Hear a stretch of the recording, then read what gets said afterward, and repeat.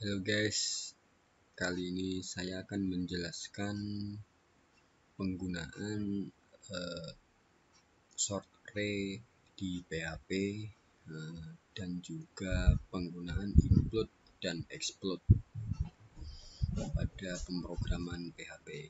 Oke, mari kita mulai. Nah, ini contohnya kita buat dulu ini saya menggunakan virtual host. Jadi dengan nama youtube.local slash index php.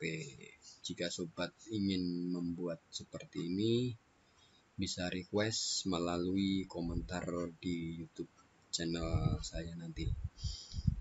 Oke mari kita lanjutkan topik kali ini mengenai short array di PHP. Oke, kita lanjut menggunakan sort array. Di sini kita sort. Ini adalah mengurutkan berdasarkan value ya. Nanti akan diurutkan mulai dari uh, eh, BMW, terus Toyota, terus Volvo. Nah, dari sini kita coba. Ini kondisi ini fungsinya untuk menghitung menghitung jumlah array kemudian kita masukkan uh, x. X. Biar tahu berapa sih uh, key dari array tersebut Perlu diingat jika tidak didefinisikan array key-nya e, secara default PHP array itu akan dimulai dari nol. Contohnya seperti ini, tapi jika didefinisikan seperti ini satu slash ini menandakan diawali dari satu array tersebut. Nah, kita manggilnya kita standar dulu dari 0 nah kita coba hasilnya. Kita coba refresh. Oke. Okay. array ke 0 itu bernama BMW kemudian array ke 1 Toyota dan array kedua Volvo. Oke jika kita tambahkan di sini array ke empat itu uh, bullying. Kita tambahkan di sini bullying maka hasilnya bullying di nomor ketiga array ketiga berarti. Ini adalah key dan ini adalah value. Key value key value seperti itu Oke. Nah, dari sini mungkin sobat sudah sedikit paham bagaimana penempatan array dengan function sort. Oke, kemudian kita coba lagi menggunakan function uh,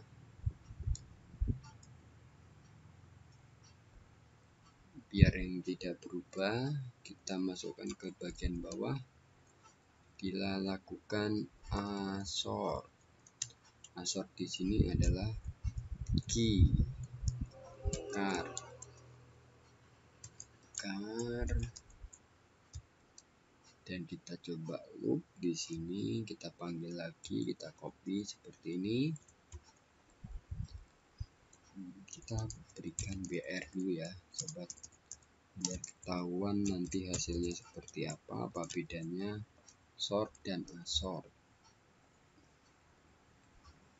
Nah bedanya seperti ini sobat. Kalau asort itu berdasarkan key dari array tersebut. Jadi susunan arraynya tidak berubah masih sama Volvo, BMW, Toyota, Wuling jadi seperti ini. 0 2 1 2 sampai 3 yang terakhir itu walling karena dia adalah berdasarkan assort atau key oke kemudian kita coba lagi di berdasarkan airsort oke kita coba sesuai urutan di bloknya yaitu kita coba menggunakan uh, air sort nah kita coba menggunakan air sort di sini coba. Nah air sort itu apa? Air sort itu berdasarkan uh, apa ini value dari array tersebut. Kita coba di sini adalah more function. Sorry function array r sort seperti ini. Kita coba lakukan refresh di YouTube lokal nah R sort itu adalah descending dari value sebuah array. Jadi dibalik urutan sobat yang ini adalah ascending berdasarkan value, kalau R sort itu descending berdasarkan value. Jadi urutannya akan terbalik seperti ini wuling key ke 0, Volvo di key ke 1, Nah pertanyaannya kenapa re ke 0 itu Wuling bukannya BMW? Nah kenapa begitu? Karena di sini tidak didefinisikan key dari masing-masing array. Jadi dianggap semua array itu kalau di airsort akan memiliki uh, yang sama yaitu 0 jika di awal. Oke, dan di sini adalah sort.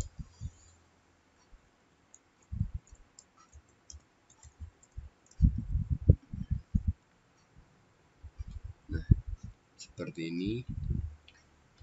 Oke, mungkin sobat sudah paham bagaimana penggunaan array baik sort, asort, eh, terus r sort, k sort juga Nah, sekarang kita akan lanjutkan ke sesi penggunaan include dan exclude untuk memecah array.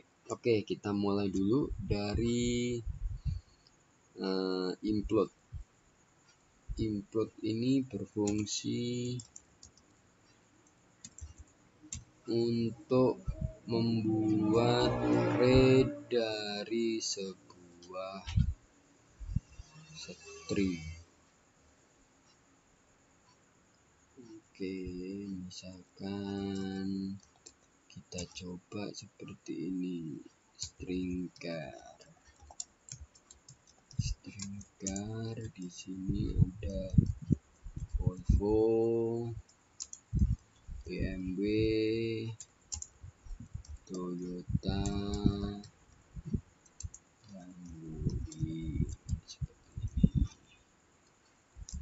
maka value implode oke okay.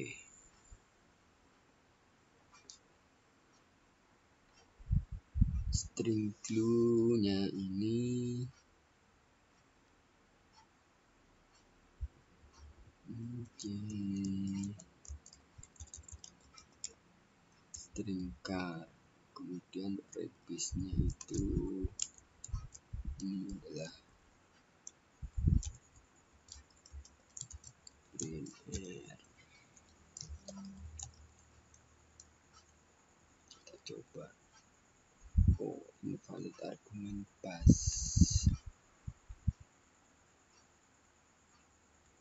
Explode explode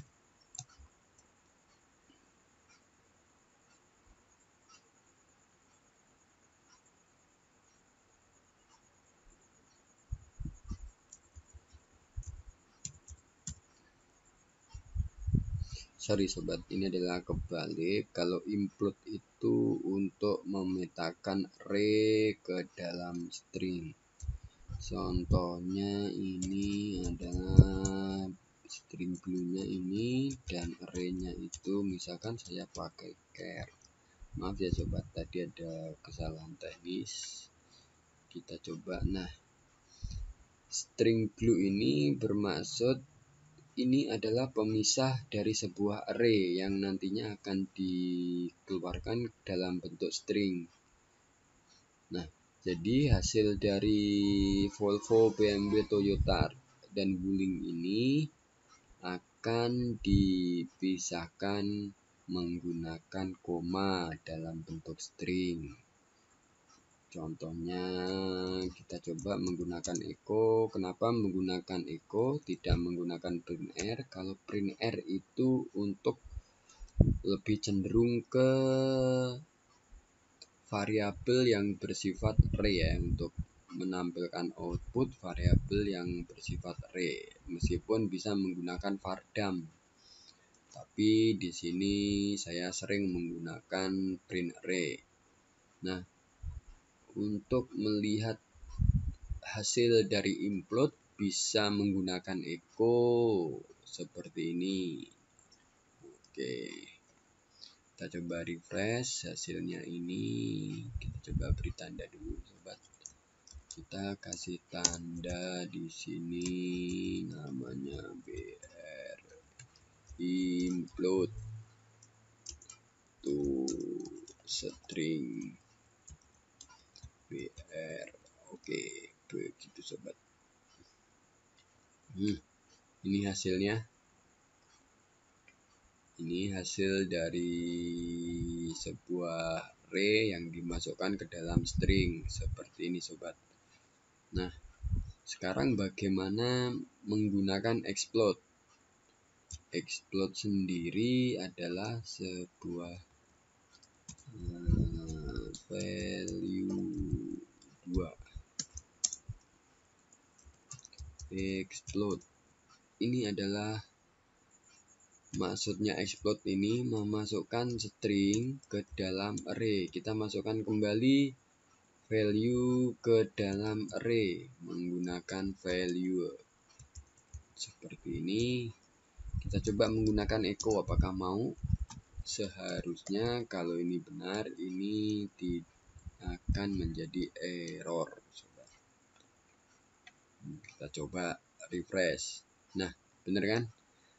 Menandakan error karena variabel yang terbentuk sudah dalam bentuk array dengan notice array to string conversion. Oke kita gunakan print r untuk melihat array hmm, oke kita coba ini hasilnya. Ding deng hasilnya sudah keluar. Oke. Hasilnya seperti itu tadi. Kita menggunakan explode. String to array. Jadi begitu ya kenapa tidak menggunakan? Nah ini hasilnya elemen ke 0 itu BMW 1 Toyota 2 Volvo 3 Wuling. Hmm, oke. Okay. sudah mengerti sobat bagaimana penggunaan short, asort, kasort dan implode explode di PHP nah sebetulnya Eh, parameter atau fungsi ini sering banyak digunakan oleh programmer PHP jika datanya sudah banyak atau kompleks terpaksa harus menggunakan ini. Selain menggunakan uh, sintak MySQL seperti ini misalkan join, left join atau menggunakan view. Biasanya sih lebih cenderung menggunakan implode dan explode khususnya kalau kita menggunakan form banyak ya. Form banyaknya itu dalam bentuk array pastinya itu membutuhkan ini implode dan explode juga sort karena ini sangat perlu banget jika kita sudah membuat pemrograman yang advance enterprise pasti ini akan digunakan. Oke kita coba refresh lagi seperti ini gimana sobat? Apakah sudah paham atau masih bingung bagaimana menggunakan array tinggalkan komentar di bawah dan jangan lupa untuk subscribe, like, dan share. Untuk mendukung channel ini biar lebih maju dan nantikan tutorial berikutnya di seri PHP, WordPress, Java, MySQL, Android maupun VB.NET DLP di sini. Sampai jumpa. Terima kasih.